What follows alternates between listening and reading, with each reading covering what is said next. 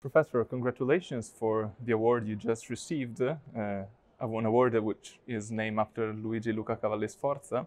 And this award uh, celebrates population genetics, which uh, is maybe the most powerful theory uh, at the basis of evolutionary biology we have today. It is a mathematical theory.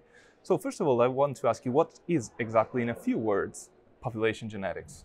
Okay, population genetics is the study of genes in populations, that is in groups of people or groups of animals, asking what forces cause some genes to increase in frequency, other genes to decrease in frequency. And ultimately, all of evolution is the result of changes in allele frequencies and gene frequencies in, in populations.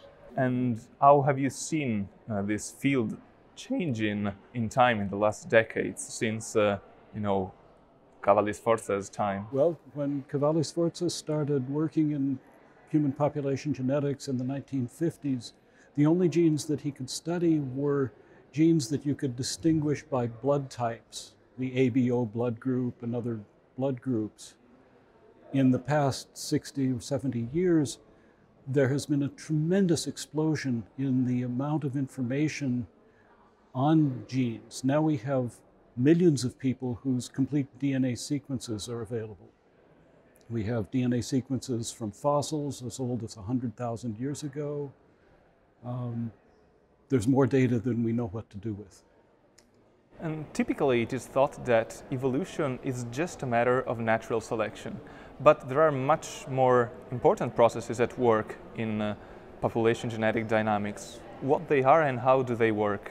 Very important process in population genetics is called genetic drift, which is the change in gene frequency because of accident because sometimes they tend to go up a little bit or they tend to go down a little bit.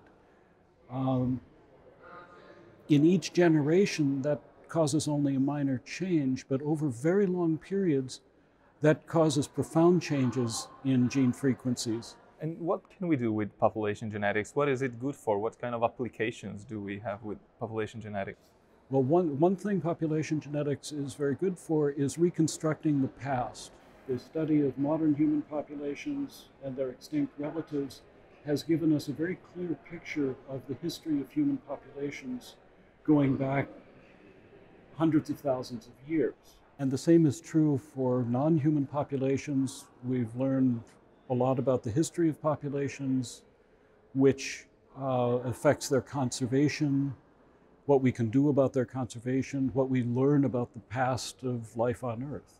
And one of these fields uh, is part of your uh, latest research. For example, you collaborated with the Leipzig group in Germany to study Neanderthals' genomes and uh, ancient human origins. Yes, yes, I've helped analyze the Neanderthal genome data and the Denisovan genome data and try and we tried to establish the relationship between these extinct groups and modern human populations.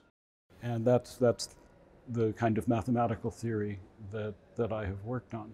Speaking of mathematics, some say that um, a discipline is as scientific as the amount of mathematics it contains. Is it evolutionary biology healthy from this point of view?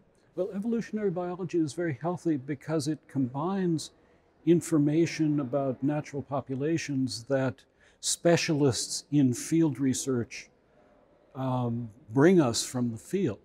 That is, we, and then the mathematical theory to help understand the observations that natural historians uh, provide.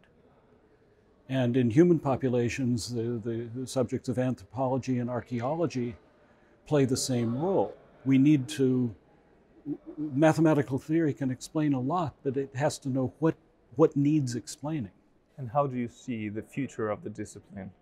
I think the, the theory, the statistical analysis of genetic and genomic data will develop tremendously. It's an area with almost unlimited opportunity because there are so many things we don't know about the history of humans and about the genetic basis of human genetic diseases. Thank you very much, Professor. Thank you.